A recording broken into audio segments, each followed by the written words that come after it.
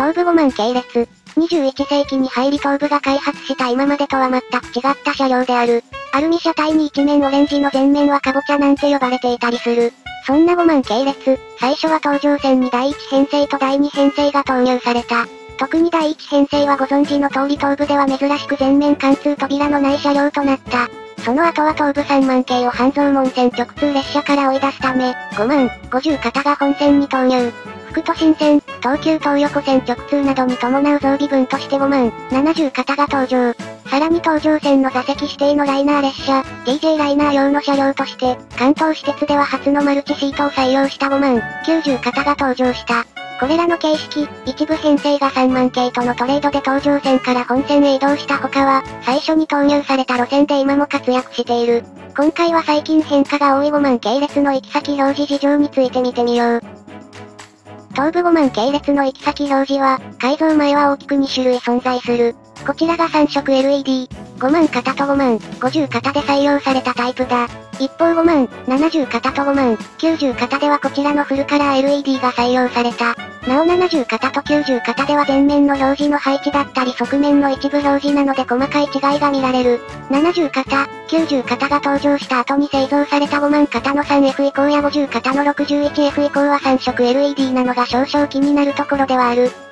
そんな状態でしばらく使われると思われた5万系列。最近では特に3色 LED の方で劣化などによる表示バグがしばしば見られた。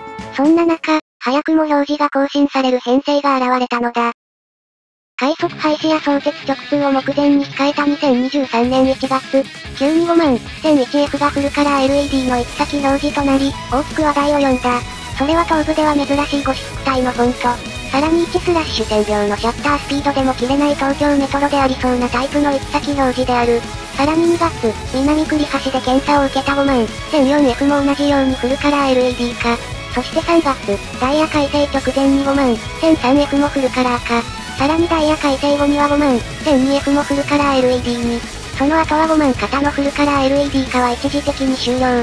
このままで推移すると思いきや1年以上ブランクを置いて2024年7月に5万、1006F と5万、1007F が相次いでフルカラー LED になった。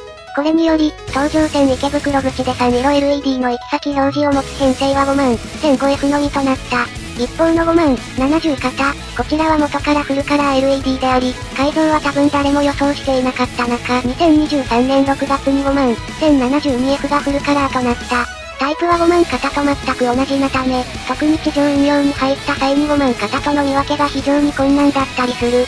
しかし、5万、70型のフルカラー LED 化はこの1編成のみで現在も推移しており、残りの編成がどうなるのか注目である。そんな傍らで本線の5万、50型、2021年6月の3万系半直接帯、東急では8500系の引退や東急5000系のフルカラー LED 化、メトロでは8000系3色 LED 編成の廃車。これらの結果、半直系統では唯一未だに3色 LED を装備している編成となってしまった。こちらも早くフルカラー LED 化してほしい。そう思ったファンも一定数いるに違いない。2024年8月21日、その夢は叶ったのである。5万、1052F、こちらも5万型と同じタイプのフルカラー LED となったのである。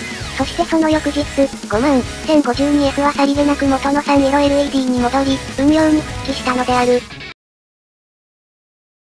まさかの1日で表示器が元通りになったのである。なんだその RTA はこれには多くの人が驚きを隠せなかったご様子。一体なぜこのような事態になったのか。ネットで一番よく目にする噂が東急、メトロ線内の表示である。故障じゃないのかよ。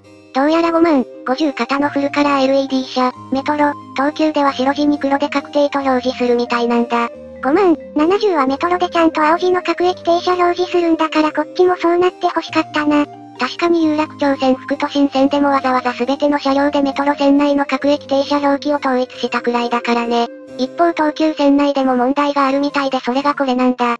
大井町線？これが何か関係あるのか？